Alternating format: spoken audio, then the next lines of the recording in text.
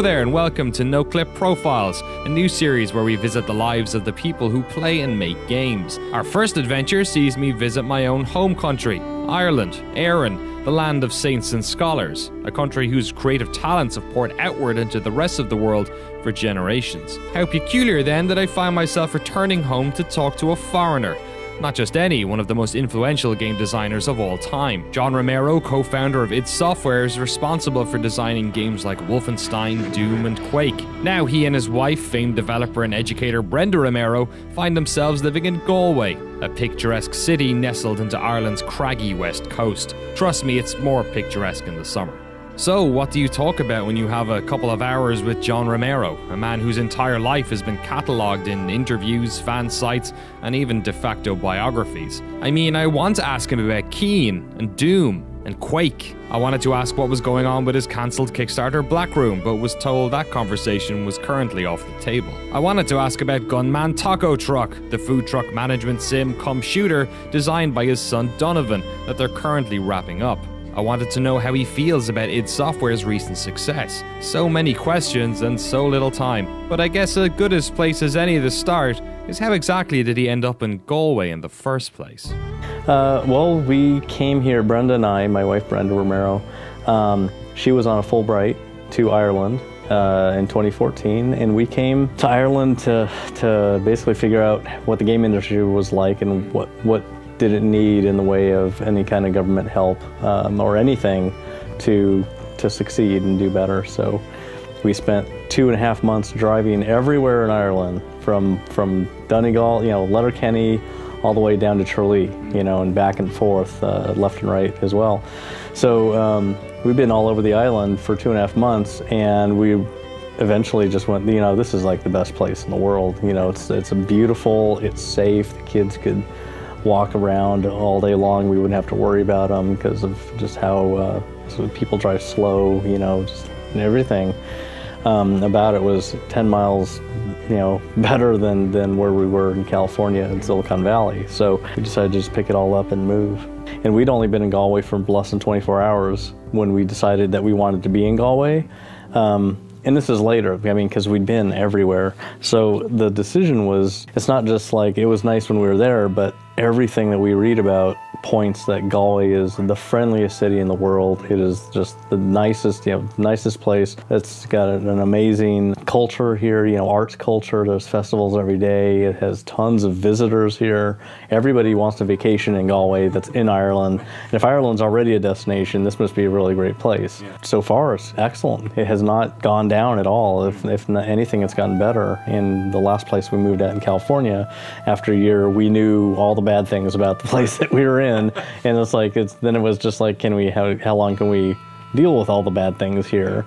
And but here in Galway, there isn't anything like that. My home country has always loved games. When you live on a tiny island, escapism is worth its weight in gold. So it's no wonder Ireland had the second highest per capita of PlayStations in the world, second only to Japan. As such, it shouldn't surprise you to know that Ireland is a massive hub for tech. A mixture of an educated workforce, low corporation tax, and a general passion for creation has seen the games industry grow since the devastating economic crash almost 10 years ago. Wonderful games like Guild of Dungeoneering and The Little Acre have come out to critical applause, while organisations like Imirt, which translates to play in English, have been formed by developers to encourage talent to stay in Ireland. So, since Brenda and John initially came here to help support the fledgling industry, I asked John what he thinks of the state of games development in Ireland today. You know, it's pretty good. It's still still very up and coming.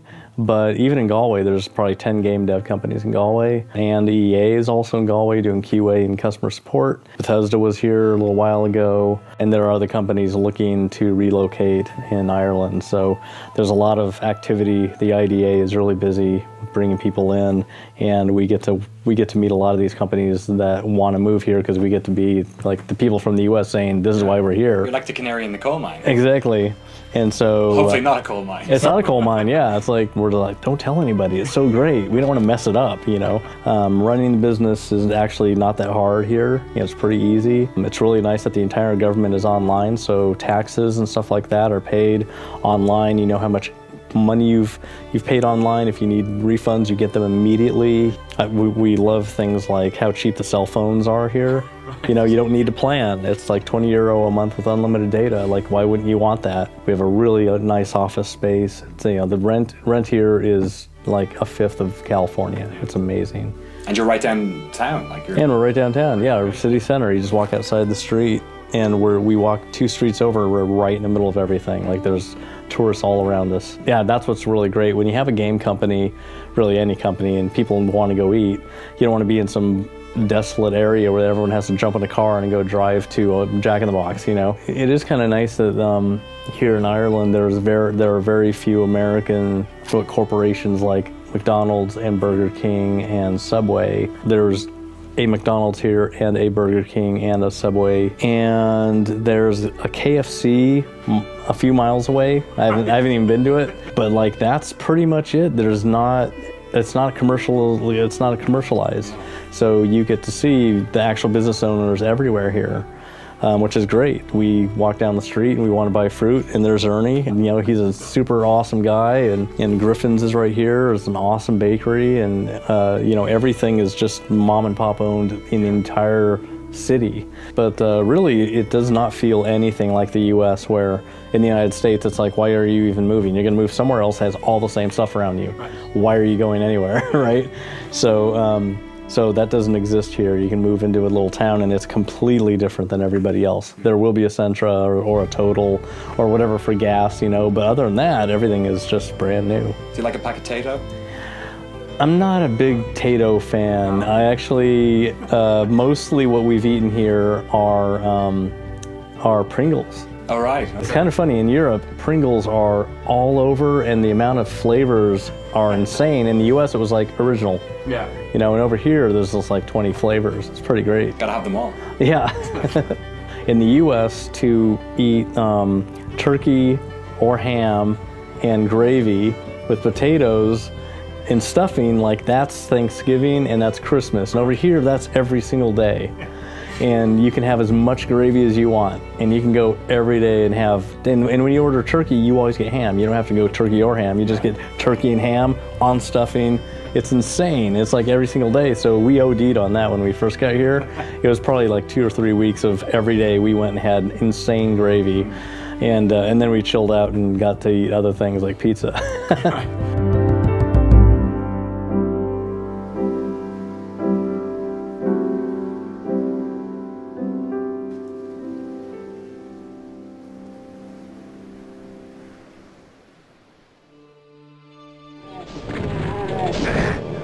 Before today, I'd never met John Romero, so I was curious as to what type of person he is. Whenever we come across his name, it tends to be in retrospective articles about his past work.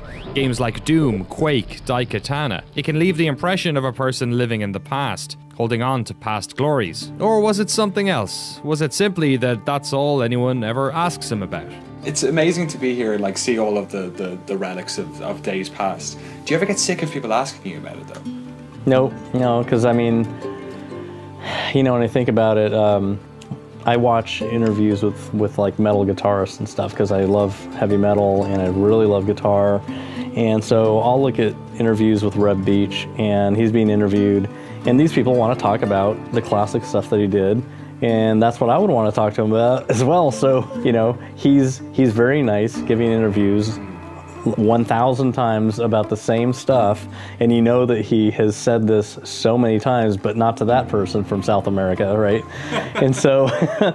and do you like jogging your memory? Do you, I do it, yeah. I, I, do it all the time, yeah. I, I have a really great memory, and and lately I've been revising my uh, rome.ro website. So since 97, I've had all my Apple II games ready to to do something with it. And so now with all the great editing tools and Vimeo and YouTube and everything, um, now I basically am making videos of my Apple II games running, um, but it's great that I can record those and now I'm doing voiceovers, I'm talking about the games as, as I'm playing them and kind of letting people kind of see this is what I made in 1982 and this is what I was thinking about and that kind of stuff and putting up web pages and just if I can just get that stuff out on a website page then I can get rid of all that old pattern. Yeah, I don't have to worry about it because it's all everything I could remember is right there. Well, it seems like from talking to you and Brenda and, and seeing some of the stuff that you've preserved over the years, it seems like just in general you're a fan of games history preservation. Oh, yeah. It just so happens that you were actually part of it as well. Right. yeah. Yeah. I have. Um, in fact, we were talking earlier about Nasir Gebelli and how he's this, you know, very rare bird that people, you know, don't really get to meet. And in 1998, when I had an Apple II reunion, I hired um, a guy to do video and record everything that was happening. And so we all kind of swapped out interviewing Steve Wozniak and Nasir Gebelli and all these people. And so I was interviewing Nasir. It's like a 20 minute interview I did with him. It's the only one that has ever been done and ever will be done. Like no one will ever get to interview Nasir again. He's done, I guess, interviewing. Do we do a bad job of trying to retain that stuff? Uh, I've seen more of it now than I ever did in the past because people are, yeah, everybody's trying to keep this stuff alive now. It's not just a couple places, a lot of places are doing it. And some places are just businesses doing it, you know, museums. I was listening to an interview that Richard Garriott did um, not too long ago, and he was talking about how he got started on uh, the university computers in Texas, in Austin. That's kind of how I got started in California was on a university computer in Sierra at Sierra, and he did the same thing probably about three years earlier than I did. But we both started at the very beginning of the industry, where the, the computer game industry really started in 1976. That was really the day, the year that games were beginning to be written, like on the actual first wave of the, the first three computers that, that hit everything, the Radio Shack, you know, TRS, TRS-80 Model 1, Commodore PET, and the Apple II. So from that that year going forward, that's really the computer industry, and, and I have a lot of stuff from that very beginning time period of it, which is the hardest part to preserve. Everybody's kept cartridges and all that kind of stuff, lots of that exists, but it's the earliest Ziploc baggy stuff that is the hardest to find and track down. It was such a small industry back then. Like Brenda, when she was when she had started in 1981, she was one of five women in the industry. That's about it. Like there's hardly anyone there, um, and everybody knew each other. And from the West Coast Computer Fair, that was the beginning of the the industry. Is where that's kind of started. Was at the West Coast Computer Fair. Before then, it was it was even less than that. Really, the, the industry started with indies.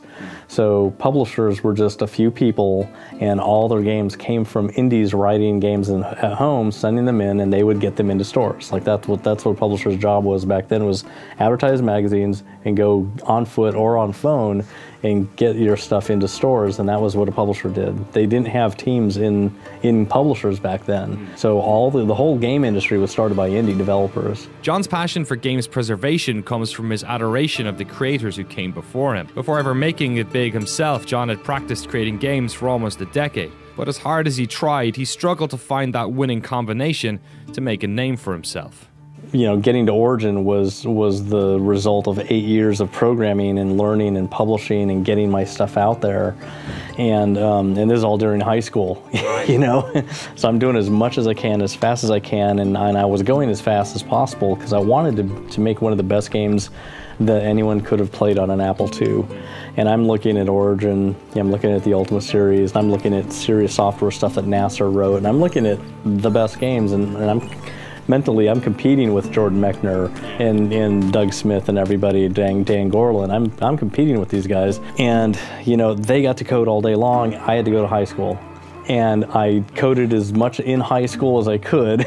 like I'm writing code in class and going home and typing it in. And I mean, I did that for years trying to become the best. And uh, by the time the, at the when it hit, when 1989 hit, the industry like died. It was the 8-bit industry, not PC. PC was the next thing. So um, I knew I had to get out of 8-bit, and that and with that, I knew I was done with everything that I had learned, which is 10 years of knowing everything about a computer's internal hardware, which back then it wasn't knowing languages, it was knowing computers. It was knowing every byte in a computer's memory and what they did because you needed to know all of that. You needed to know the hardware, you needed to know everything.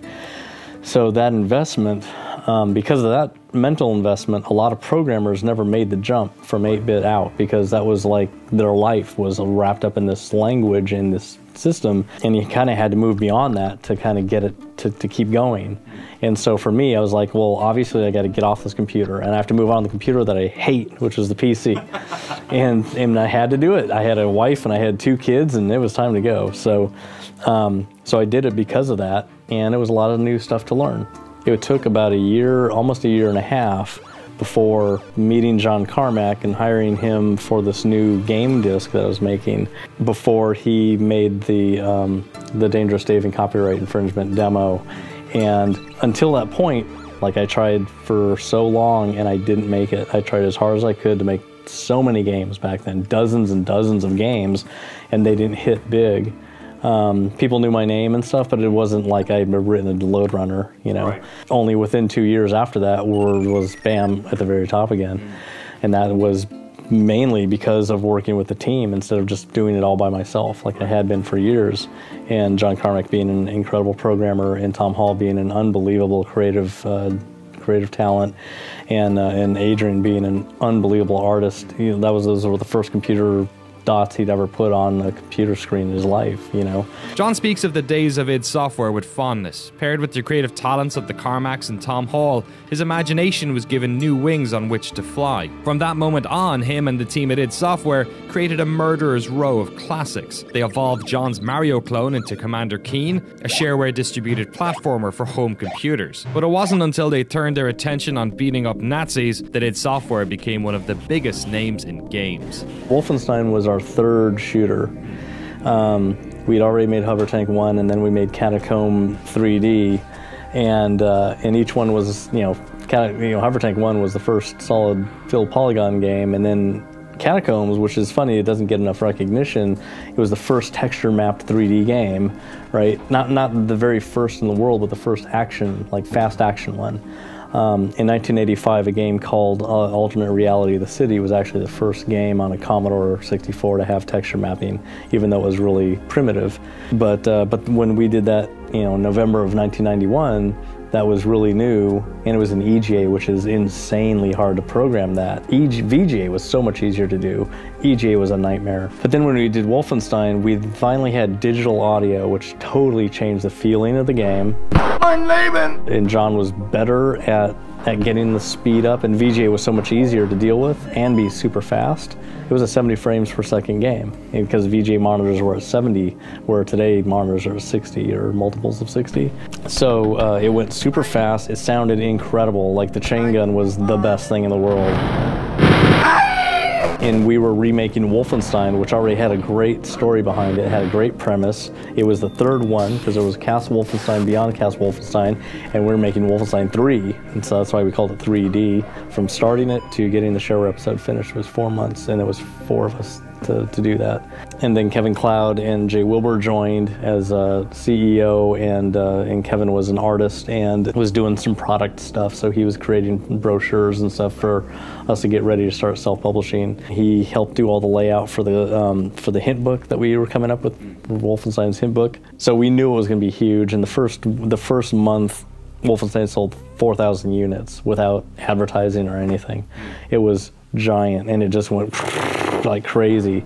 It blew away all the Commander Keen stuff that, that we had made. And the, and the funny thing is, Commander Keen actually made really good money. Ken Williams at Sierra was offering to buy the company at, at, in early 92 for two and a half million bucks. And he couldn't believe how much money we were making on Commander Keen. He's like, shareware? Nah. And uh, anyway, Wolfenstein just like blew that down down the street. But the cool thing is stacking income. We had Keen and Wolfenstein. And then we made Spear of Destiny, and then we made Doom, and it's like you just keep on making all these games. And the turnover on them is incredibly fast, like. Well, because we worked our asses off, right. and you know we had a lot of fun making Wolfenstein. Actually, it was probably the most one, the first time we had a lot of fun making a game because it was in Dallas. It was hot. We had a swimming pool right behind us. We could go out and swim anytime we want to. Um, when we were in Shreveport, we were on the lake and we would go out kneeboarding, but only when it was like weekends and Jay's there because it was his boat. As it was becoming more successful, they could finally afford a dedicated office space. The team moved out of the lake house and set up shop in a one bedroom loft at La Prada Club Apartments in Mesquite, Texas. It was here that each team member rented their own apartment place to live in, taking a short amble to work every morning. And uh, we would go in and, and just basically make games all day and play Fatal Fury and Street Fighter and stuff while we're getting mentally drained from making the most boring levels in the world, which is Wolfenstein. It was hard to make those levels. Keen's levels were much more fun, but Wolfenstein's were just brain dead. Um, I mean, I, it, it, was more fun writing the hint book than it was making the levels. Because in the hint book, you had to explain killing somebody in every different possible way that you could explain killing. Because you don't want to just say, kill the guard and get the key kill this guard, kill that guard, you know. Then it was like lay down the uniforms and, you know, like we come up with all kinds of funny stuff. Yeah, but then we pumped out, uh, we got, we spent an extra two months getting the last uh, five episodes of Wolfenstein finished. So the whole thing was was done, and then we spent two months making Spear of Destiny and getting that out the door. With Wolfenstein, the first person shooter as we know it today was born, but there's another game that defined the genre for decades to come. Its influence can be felt still today, especially here at the Romero Games office, where artifacts and shrines can be spotted every time you turn your head. So I asked John, is Doom his proudest development achievement? Yeah, yeah, I'd have to say so, because we did a lot of things at once in that game, like modding, like like LAN deathmatch. Like for the first time, no one had ever played a game like that before, especially at that speed. And it was the beginning of a new culture of playing deathmatch games, LAN gaming, and then esports right after that. And so that was the beginning game that was like that. No one ever had um, like the attitude that, that didn't exist before Doom.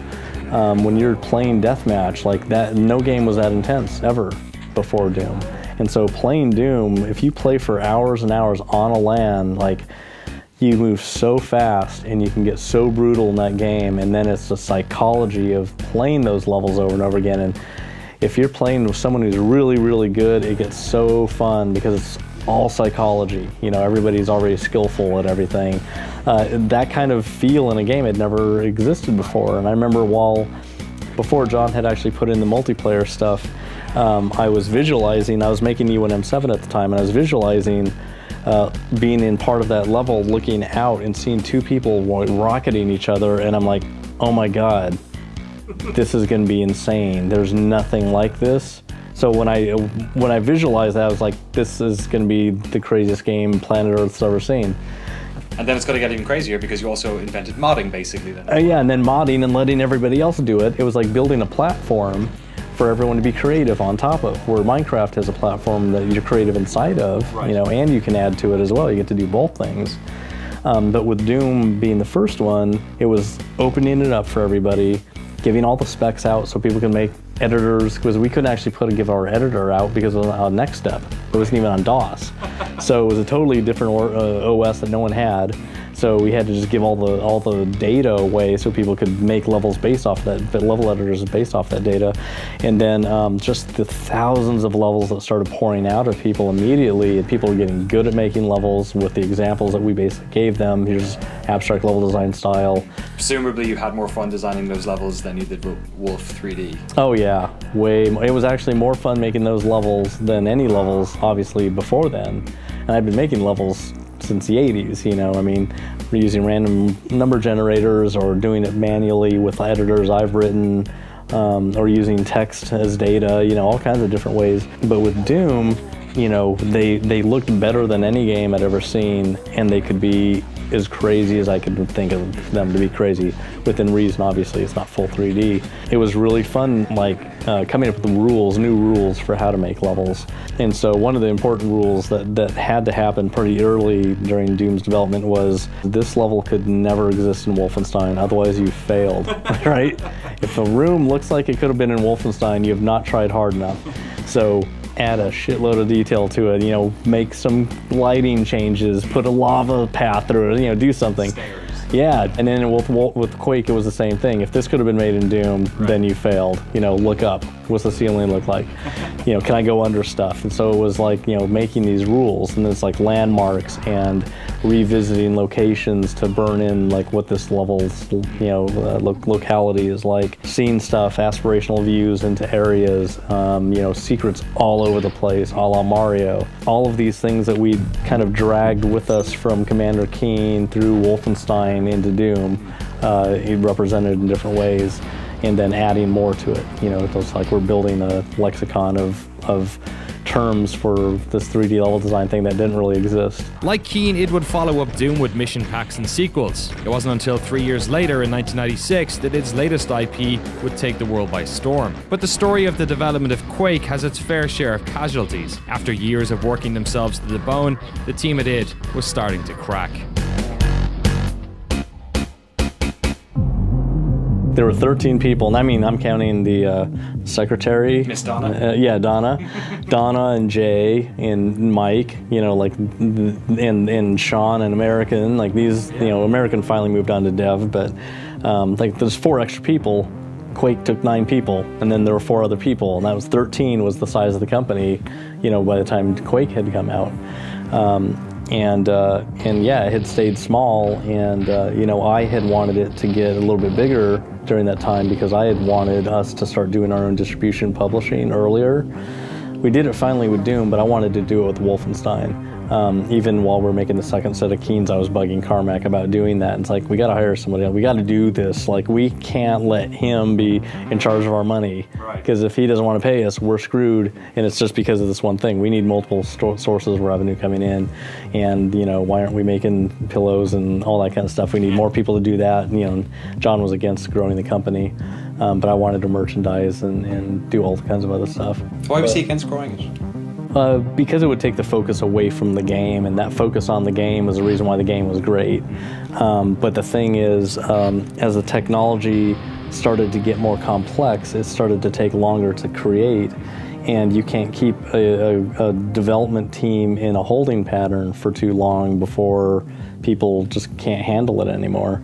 And that was the mistake that we made with Quake was that we didn't split the company into an engine dev and a game dev, where we're using whatever the latest tech is that we had made already and making newer games with that, that older tech while uh, John creates the next wave of technology. And when that's ready, then we jump on it after we're finished with this thing.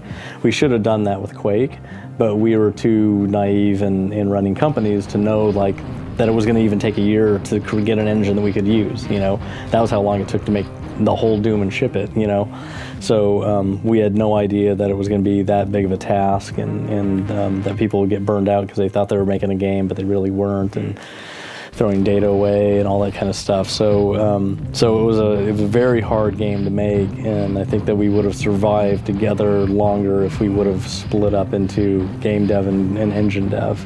We didn't with Quake. There was mostly a technology mandate. It was like we're gonna do true 3D in this game. The identity of the game needs to kind of come from a certain certain place, and so um, I thought, you know, why don't we keep on experimenting with different ways of playing a game that's in first person? Can you be up on top of a mountain and get hit in the back of the head and tumble forward using visual triggers to make things happen instead of me having to walk through a volumetric cube or a line segment to make something happen?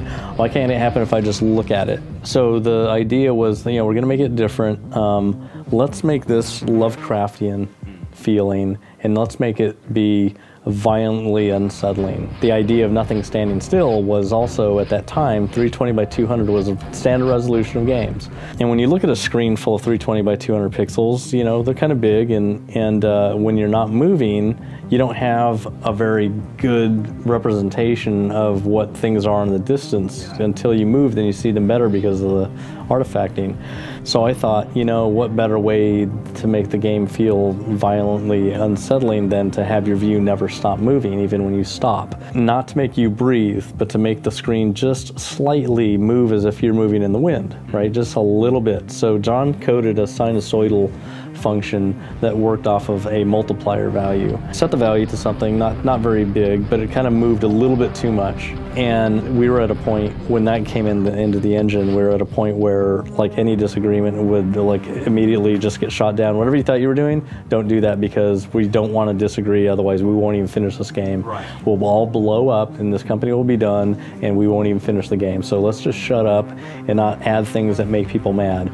And so when um, got that in there, John got that in there, and I showed Adrian, and uh, and I said it wouldn't be as, as crazy as this. It would be a lot less. And he's just like, that makes me sick. I'm like, okay, we'll just make it zero. But I should have made it 0.001 because because it's pretty cool to see the screen just slightly shifting. Yeah. Very, you can. It's barely perceptible, but you feel like the screen never. You know, it's never static. It's still in there. So that that function is in there. And if you, I use it for the intermission cameras. When you finish a level and you're looking from any of the four random cameras that I place in level then you you see it moving Yeah. like that. Now that's that's actually a, a bigger version of that number. It's the same function running with that same value. It's just that during the intermission, the value gets changed from zero and then back to zero. So anyway, it was the game had to have that that palette. Uh, one of the reasons like people were complaining about the palette being all browns and grays and stuff is because um, because we were using light maps and we were trying to have 16 gradients per color. That chops down the amount of colors you can have in a game. When you have 16 values going from black to the color, that limits everything that you can do. Um, so we, you know, and, or maybe it was 32. I think it was 32 because I think Doom had 16. Because you went from zero to 255 in Doom and it was 16 steps. So we had 32. So we only had like eight colors or something, right? Because we had a palette of 256. So to do really nice light maps, I think we might have even been in between 24s or something like that. But we needed to have better gradients and stuff to show all the cool light light mapping and everything.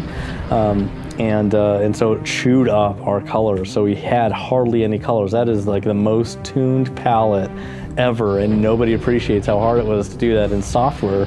When as soon as the video cards came out in '97, it's like, who cares, man? Just like throw a light in there.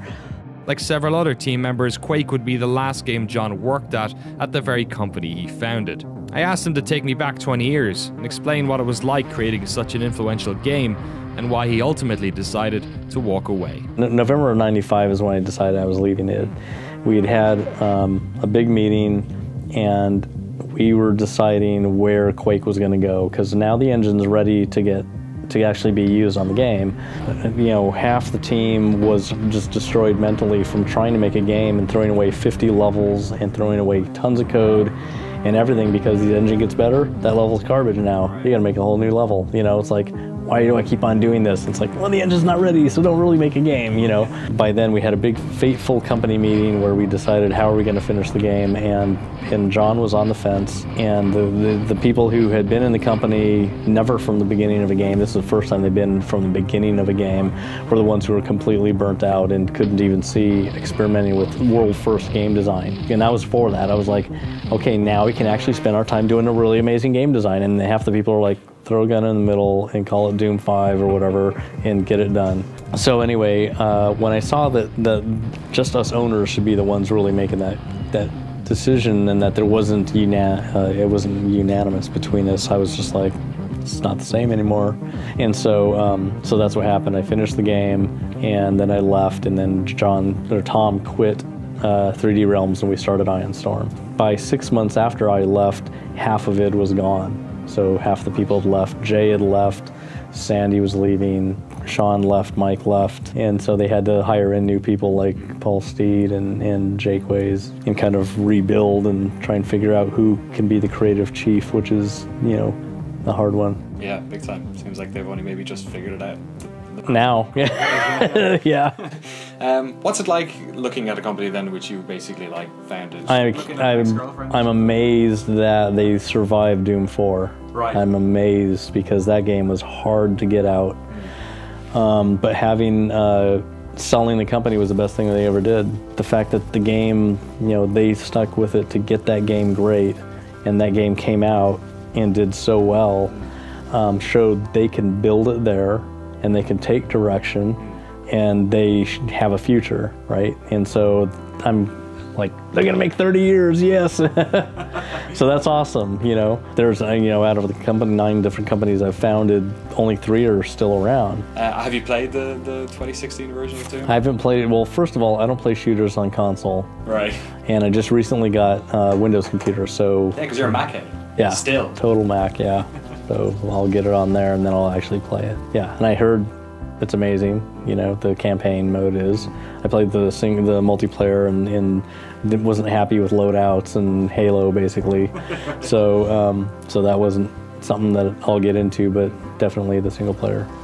John hasn't gotten the rounds of playing last year's Doom campaign quite yet, but I wanted to ask him about the games he had been enjoying recently. We had had lunch together earlier, where he'd waxed lyrical about how much he'd been enjoying a certain assassination game.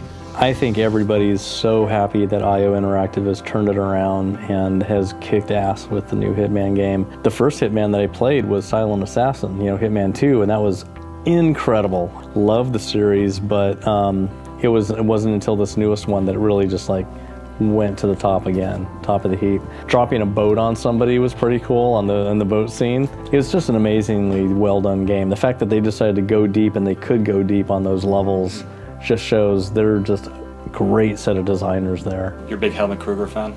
Yeah, so funny. and it's funny because I was getting through the game without even doing that, and I was like, "That's a that's a challenge right there." You know, there's a challenge up there.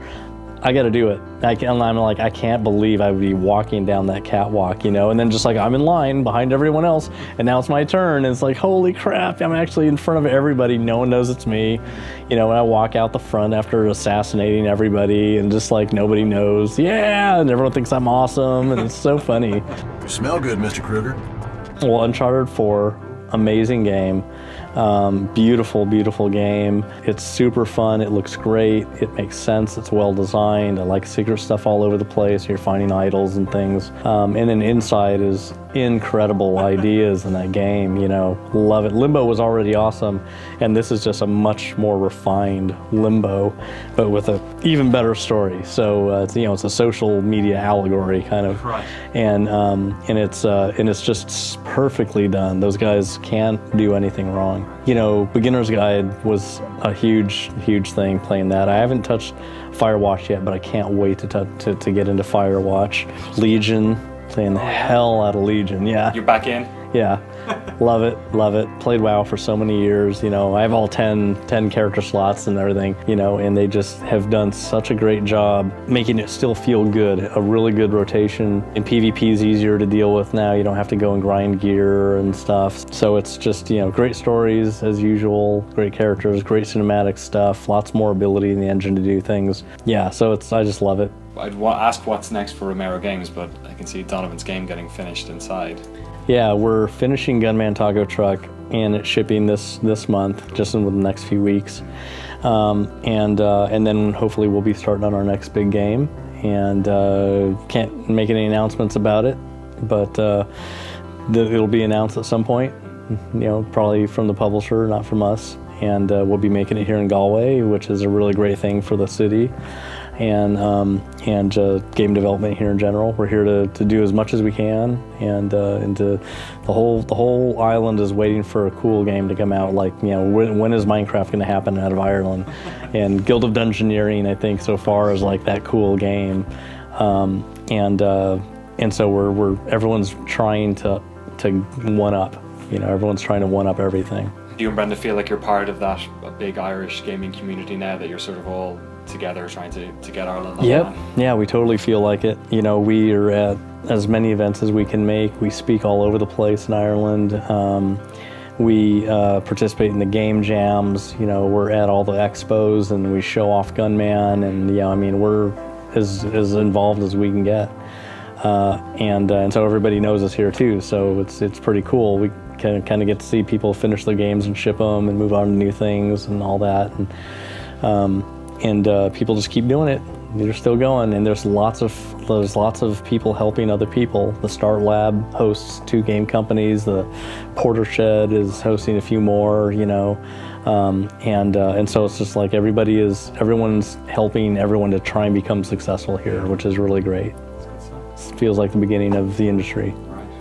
Sitting down to talk to John today is as close to chatting to a video games oracle as I've ever gotten. He's a person who lives both in the past and the future, a creative soul with a deep passion for games that can be seen in the way he lives his life. He holds both a respect for those who have gone before him and a passion to pave the way for those who are coming up next. More than anything, he's somebody who loves making games. His Moby Games profile registers credits for over 130 titles. Classics like Doom, Quake, and Wolfenstein. Failures you may have heard of like Daikatana Katana, and successes you may not have, like Ravenwood Fair. But more than anything, it's clear from talking to John that he's an indie developer at heart. His favourite days at id was when the studio was small and scrappy. So it's no surprise, really, that they've decided to set up Romero Games in Galway, a town full of family businesses, a support network, much like those old Apple II days. Himself, Brenda, and their family have found a new life in Ireland among the Indies. But before I said goodbye, I wanted to give John one final test. After 18 months living in the country I like to call home, I wanted to know how he was faring with our native tongue, Gaelic,